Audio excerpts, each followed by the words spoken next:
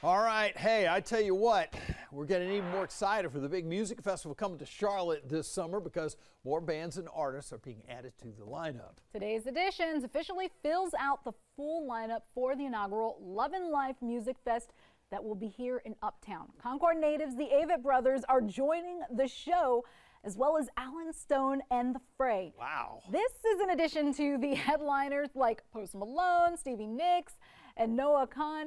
The festival has released the rest of the 30 act, yes, 30 act full lineup on lovinlifemusicfest.com. All right, you got to